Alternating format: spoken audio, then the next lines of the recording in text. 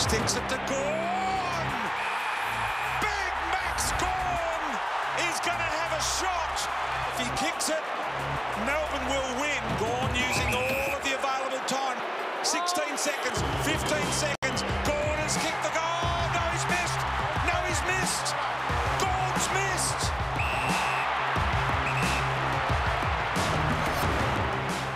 Well, after trailing by 27 points midway through the game, the Demons fought back incredibly well but fell agonisingly short to the Cats in round one. Their co-skipper, Nathan Jones, joins us. Uh, appreciate your time.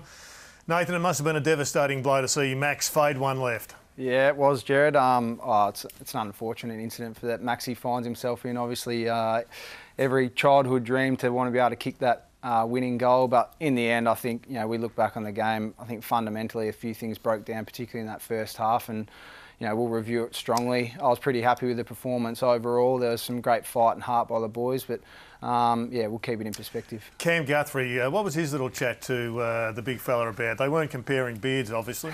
nah, not at all. I think he.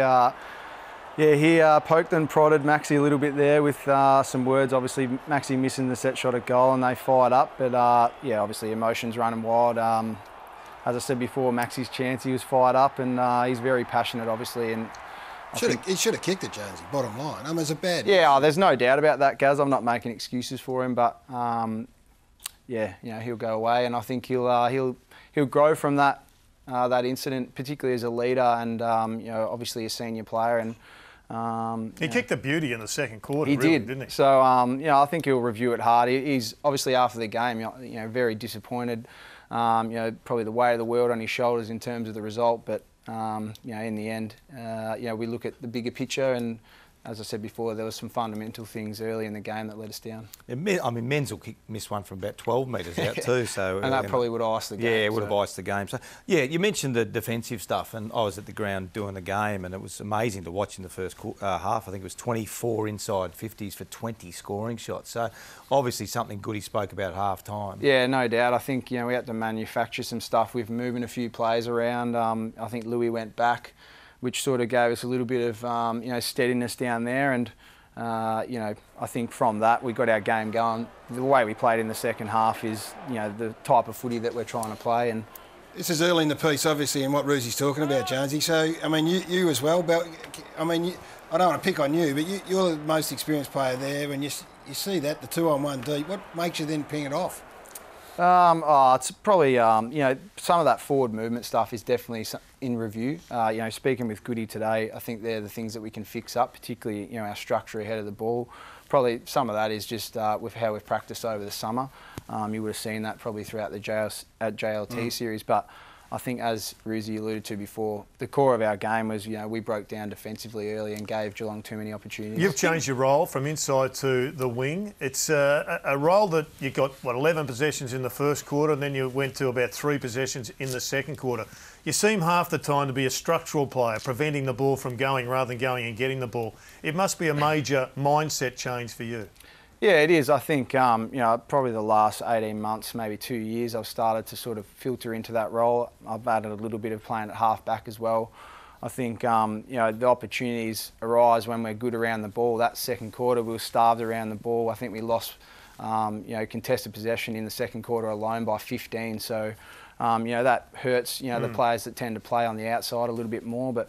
Um, you know, I'm enjoying that. It's obviously added a string to my bow with playing out on the wing and half back, and um, you know, I think the opportunities will continue to grow as we expose some of those younger key inside mid players and they become more consistent across four quarters. Selection was interesting, no Tyson and Brayshaw, which can be seen as a good thing. That, says the depth is there.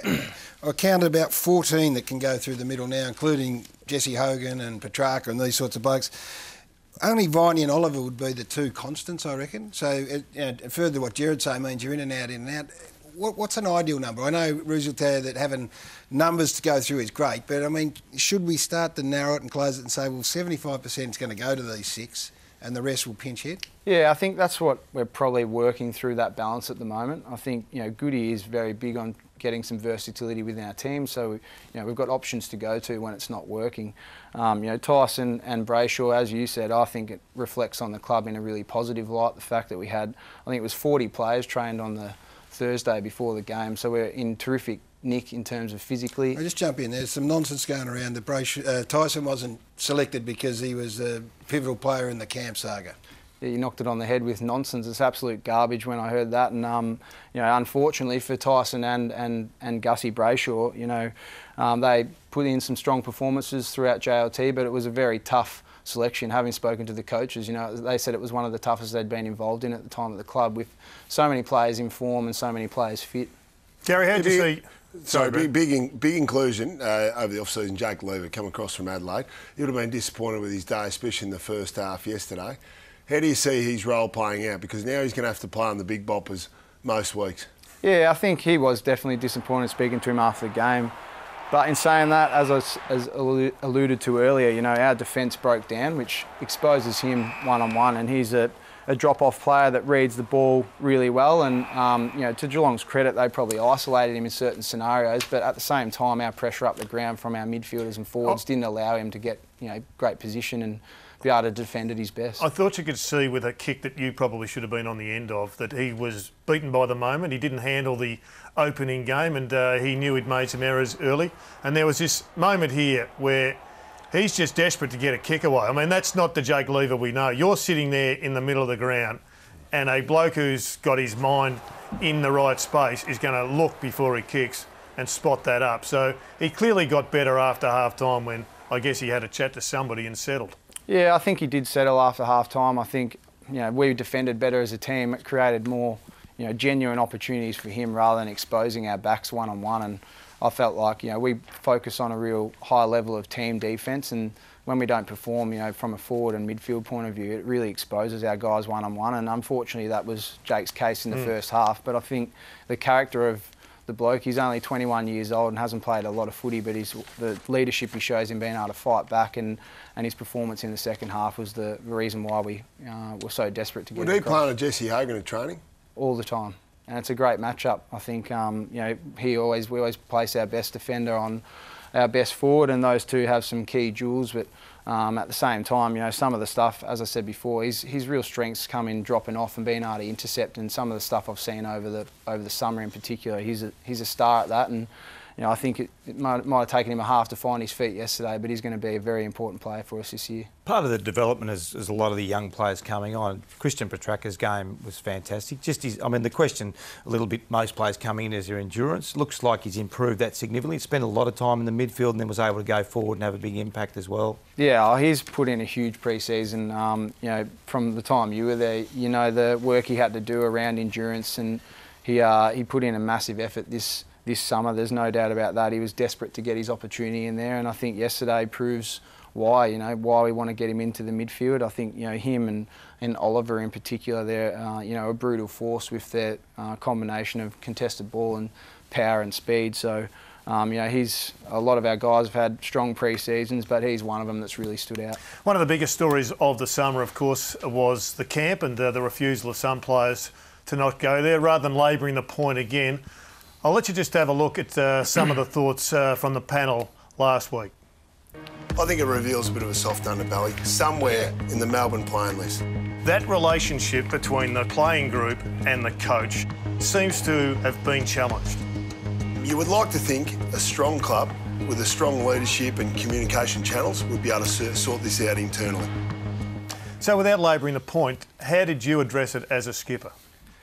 Yeah, look, I think there's so many. I, I knew this was going to come up. Obviously, the couch was my favourite show actually before Brandy gave us the slap. but um, nah, look, I think it's um, it's been harped on so much. There's been so much opinion on the outside, mm. but internally it was addressed as you know we've mentioned publicly so many times. You know, quite quickly and efficiently we went over it. Mm. Obviously, there was the breakdown of communication, which we've acknowledged.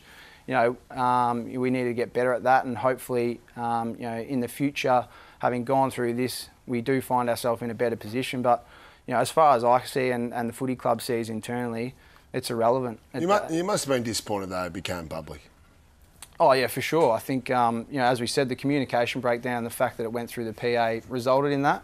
But as far as the result goes in 2018 and, and you know what our footy club stands for and the results on the footy field, I think the camp is completely irrelevant. Well said. How relaxed are you at 30 years of age coming into your 13th season? You've played some finals, you've played two finals. First year.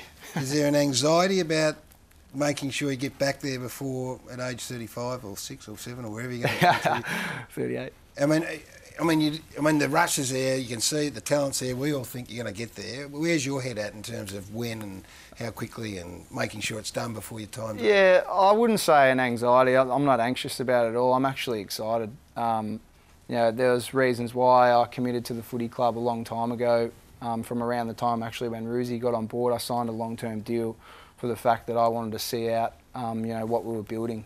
And right now, you know, um, having seen such a small um, light at the end of the tunnel back then, it's now wide open and staring us in the face. And you know, really within our hands. Our playing group is in a terrific position. We've got a strong coaching group with a coach that um, is innovative and, and loves his playing group and, and leads from the front. And I love being a part of that. I love leading that along with Jack. And I think uh, the footy club's heading in the right direction. We understand, you know, we respect the game and understand how much hard work there is in, in terms of getting towards the push of finals, but um, we're under no illusions either of, of what that's going to take. No, and there's, an, there's a rush from outside, of course. Um, There must have been a rush for Jack Viney, who I don't know whether you've spoken to him, made a decision late last year that I think he's ruining at the moment. How, who's taking the responsibility for the fact that your co-captain and best two or three players is not going to play for eight weeks, having had a whole summer off or to get over an injury? Yeah, I think hindsight's a wonderful thing. Uh, you know, at the time,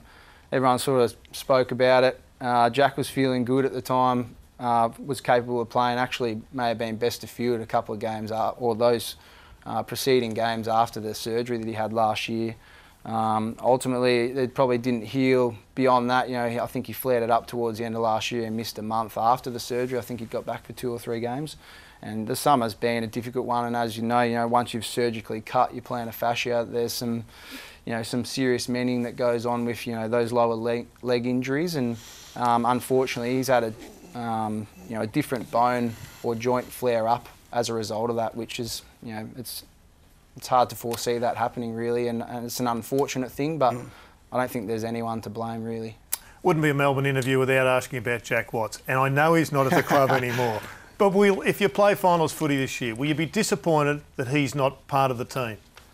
Uh, I think personally, I would. Um, you know, Jack was, well, he's a great friend of mine, um, and I was rapt to see him do so well on the weekend. I think. Um, Is it a win-win? Do you think it had to happen? Is it best for him as well? I, I think on the weekend probably proves that point as far as you know seeing him play with some freedom and I think you know removing you know the sort of the stigma around his number one draft pick and the pressure that goes on his shoulders as well as you know the, the, the sort of reflects back on the club as well. I think it was best for both parties and.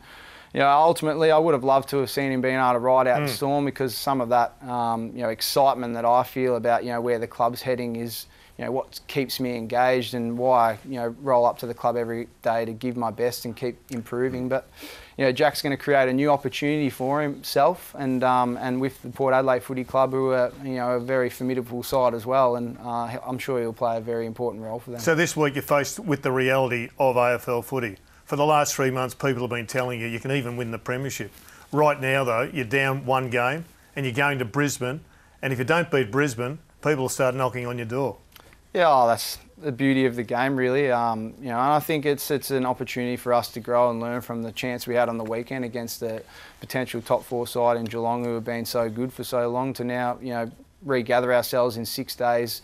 And, uh, and head up north and, and play the Lions, who, you know, I watched their game quite closely on the weekend and they were terrific, particularly around the ball. They've got some star players and, you know, we'll have our work cut out. We have to play at our best, but it's part and parcel of the competition right now. There's such small margins to be to be good, and um, even smaller to be great, and that's what we're striving to be.